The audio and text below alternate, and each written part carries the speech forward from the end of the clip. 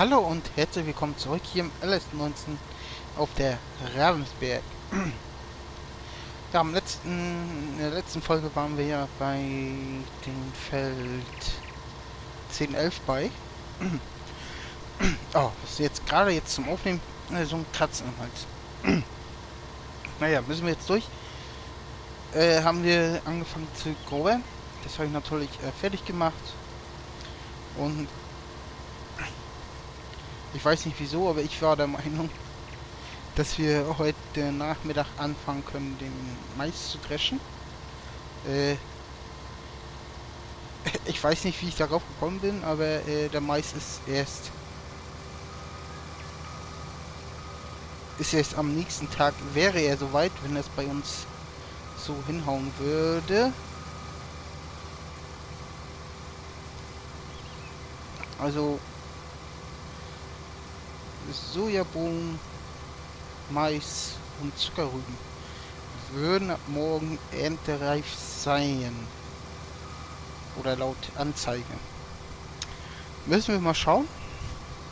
Weil dann haben wir morgen nämlich einen, oder für den morgigen Tag einen straffen Zeitplan. Es soll erstmal trocken bleiben. Das ist das Wichtigste.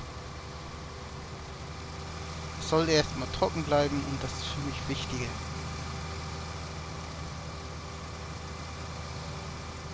Wir sind hier gerade im Auftrag. Ein bisschen äh, Radverdreschen nochmal habe ich noch ja so gefunden.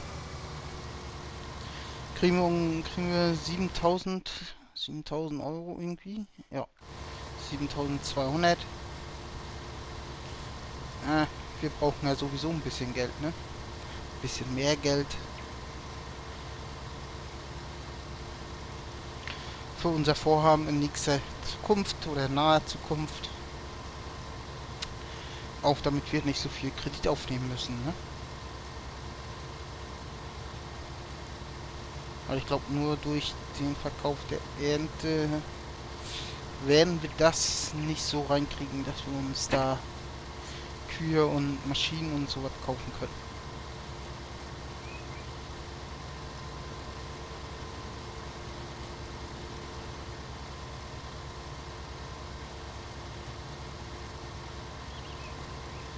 Wir schauen einfach mal. Ne?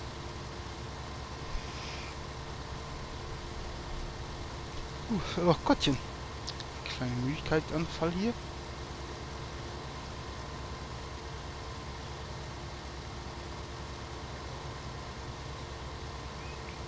Ja, ist eigentlich nicht so spannend, ne? Jetzt hier gerade. Wie gesagt, ich hoffe mal, dass wir dann am morgigen Tage irgendwie was ernten können. Ob das in Mais ist, die Sojabohnen oder die Zuckerrüben. Auf die Zuckerrüben würde ich ja eher gehen wollen. Ist zwar auch nur ein kleineres Feld, aber müssen wir auch noch mal gucken. Ne? Dann müssen wir uns die Geräte mieten für den Trecker, den Krautschläger und den denn, denn sozusagen. Das wird ein bisschen Geld kosten. Und dann brauchen wir noch einen, einen Kippanhänger. Also kein Drehschimmel, sondern so ein ja so ein, so einen anderen halt, ne? Müssen auch mal gucken, was wir da nehmen. Die müssen wir uns auch noch mieten. Geht natürlich auch noch ein bisschen Geld für die Miete auch noch alles drauf. Weil die Ruder kommen, die haben länger als eine Stunde. Wird ein bisschen länger dauern.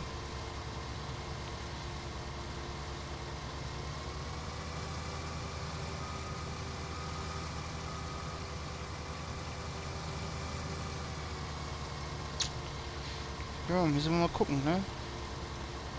Müssten wir mal einmal gucken, was wir da so bezahlen müssten. Wenn wir hier einmal den Helfer reinhauen, können wir einmal gucken. Wir werden nämlich hier uns diese beiden St Stück ausleihen. Das sind wir bei 1100. 5000. Kannst du 6000 ungefähr sagen? 6000 Euro plus ein Anhänger. Der Bandit der Krampe wäre schon nicht schlecht.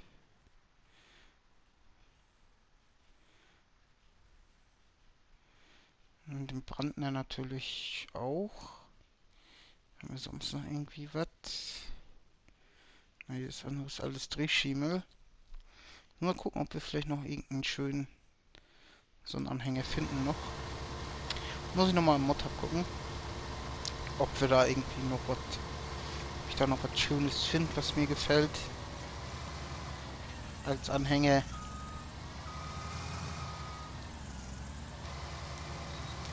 Halt.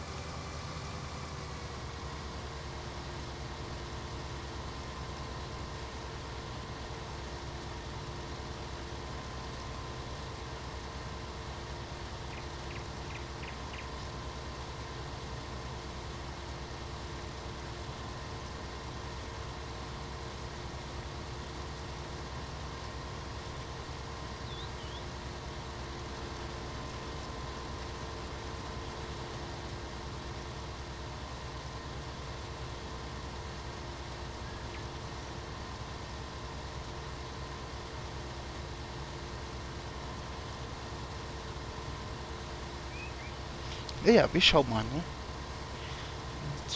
Natürlich muss der Roder denn da auch darüber kommen, ne? Über Anhänger. Also darf der auch nicht zu groß sein. Hm.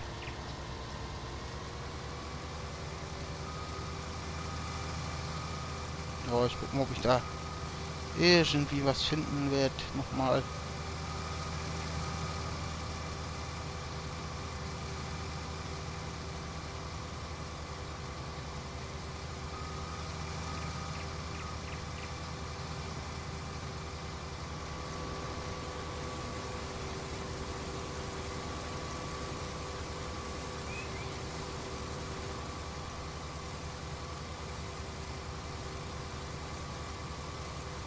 Komisch, ich glaube, jetzt bewegen sie sich nicht, ne?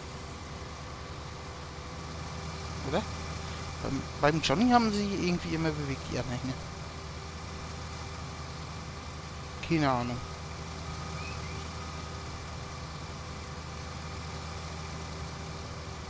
So, dreimal Vorgewende sollte auf jeden Fall reichen. Dass wir hier umdrehen können.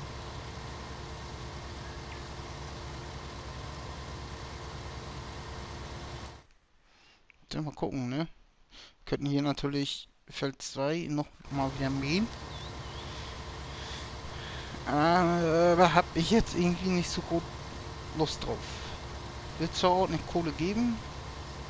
34, na gut. Wir haben nicht alle Maschinen, wir haben keinen Wickler.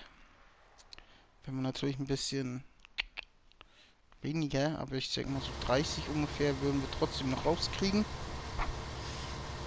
Das wäre natürlich nicht so schlecht, ne?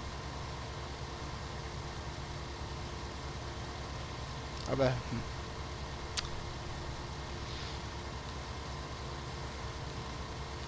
Auf Gras im Lohn habe ich jetzt irgendwie keine Lust.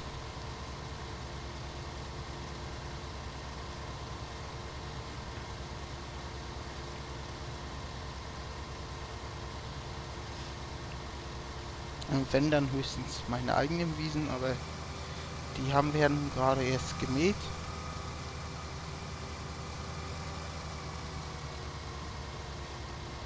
So, wir müssen mal gucken im nächsten Frühjahr, ne? Was da mit dem Ackergras ist.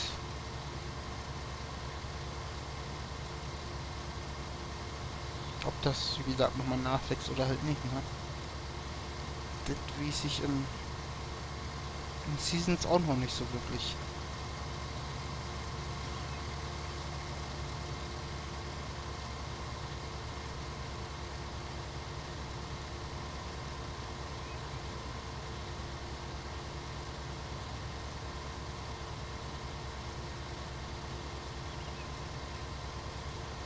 Aber auch das werden wir noch irgendwie herausfinden.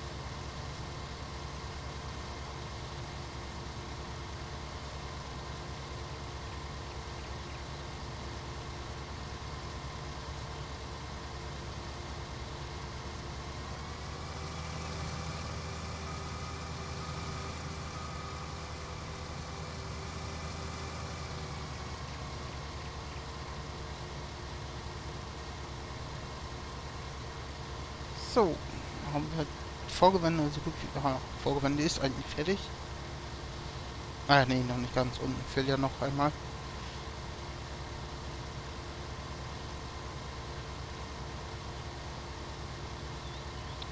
Ist doch einiges runtergekommen. 32 Prozent haben wir jetzt schon. Ah. Mal schauen.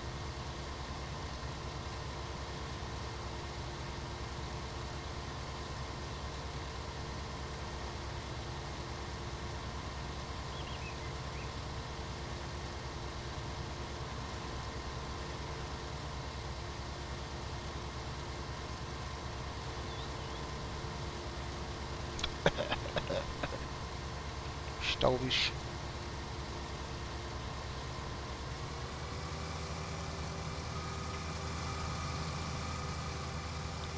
So.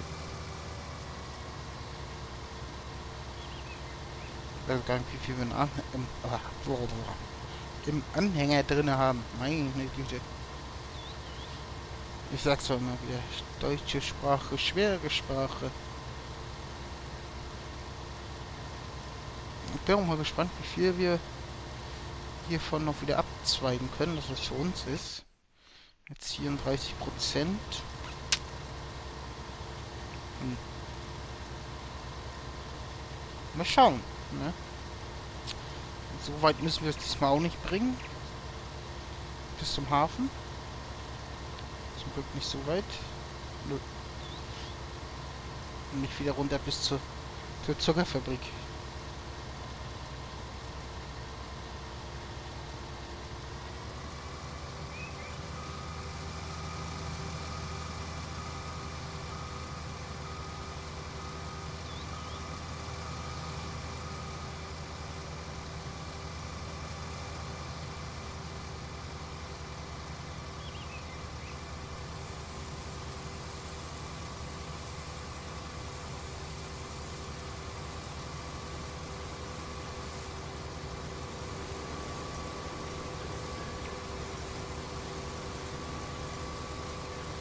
Oder? Doch, der bewegt sich doch, ne?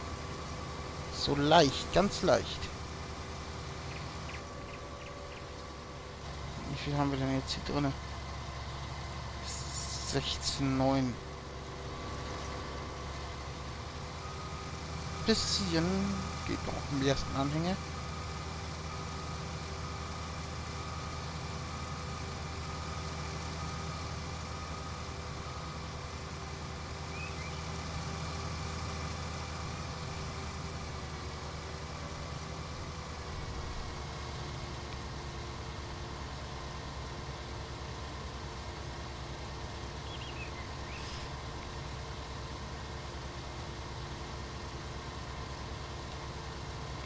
Falsch Knopf. Falsch Knopf 35.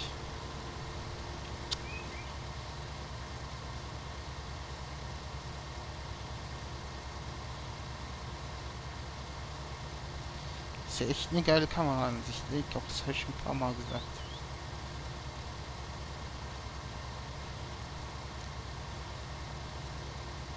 Und jetzt den ganzen Rest nach ringsrum ausblenden. Also die Anzeigen könnte man ein schönes Thumbnail machen, ne?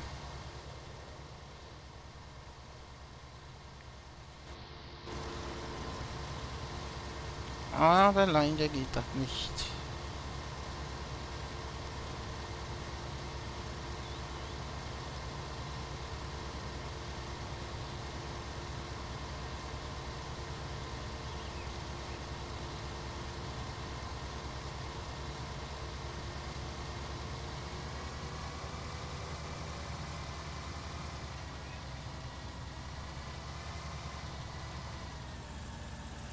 So ist natürlich eben der Helfer noch wieder gefahren.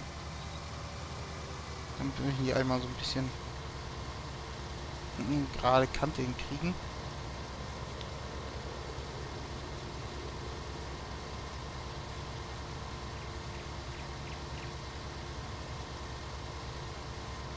So, wäre natürlich auch nicht schlecht, wenn wir dann noch ein bisschen was einlagern können. Hafer haben wir schon 28. Dabei haben wir noch nicht mal was angebaut. Wenn wir hier jetzt noch wieder ein bisschen was rauskriegen. Ja, wäre ganz nice, ne? Gut, ich sehe aber auch schon wieder, dass wir am Ende angekommen sind für heute.